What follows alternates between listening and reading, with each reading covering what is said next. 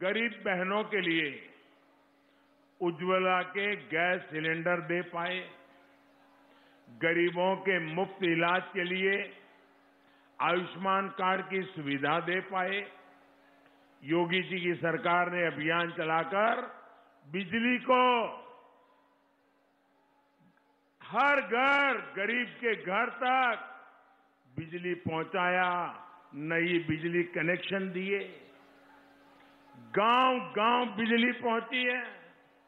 लेकिन भाई और बहनों, जिन्होंने तब आपके घरों को अंधेरे में रखा, सिर्फ़ अपना घर रोशन किया, वो आज आपसे झूठे वायदे कर रहे हैं।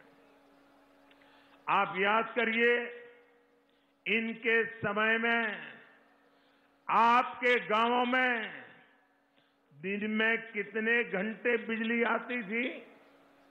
याद करिए, हफ़्ते में कितने घंटे बिजली आती थी?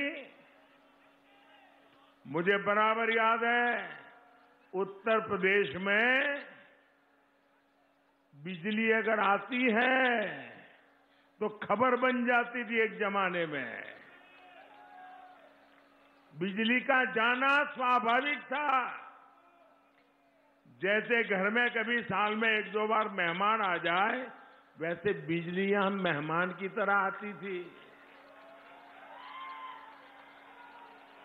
ये भी याद करिए कि एक बार अगर ट्रांसफार्मर जल गया, अगर ट्रांसफार्मर जल गया तो कितने महीने लग जाते थे और कितने कितने बाबुओं के पैर पकड़ने पड़ते थे और पता नहीं कितनी कितनी दक्षिणा देनी पड़ती थी।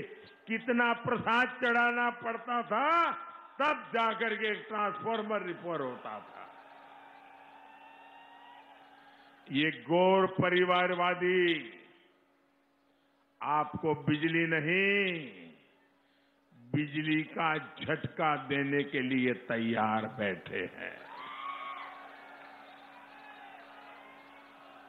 जिनके काले कारना में ही अंधेरे में फलते फूलते हो, वो परिवारवादी कभी भी प्रदेश को उजाला नहीं दे सकते।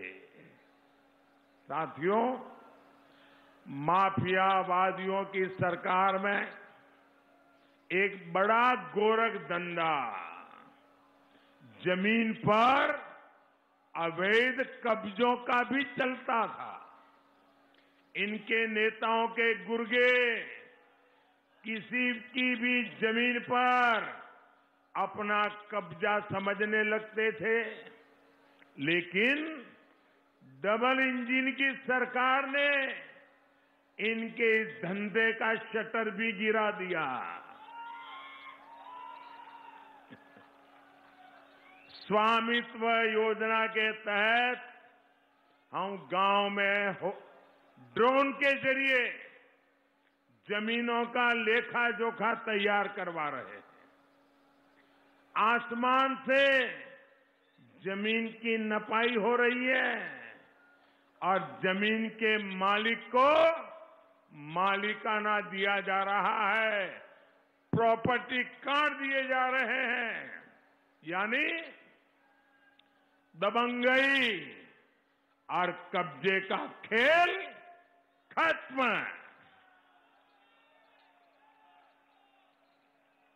यूपी में हमारी सरकार 23 लाख से ज़्यादा 23 लाख से ज़्यादा लोगों को प्रॉपर्टी कार्ड का वितरण कर चुकी है, प्रॉपर्टी कार्ड दे चुकी है। और एक काम आगे भी चलने वाला है।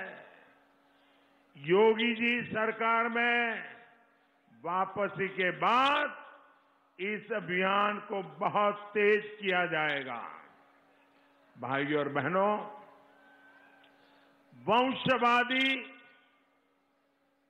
परिवारवादी, भ्रष्टाचार में लिप्त लोग, तुष्टीकरण की राह पर चलने वाले लोग, कभी भी गरीब का भला नहीं कर सकते।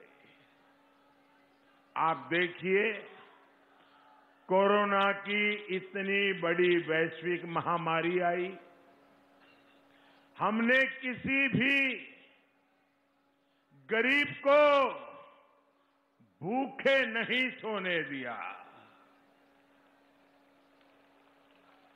प्रधानमंत्री गरीब कल्याण योजना के ज़रिए हर गरीब को मुफ़्त राशन दिया जा रहा है।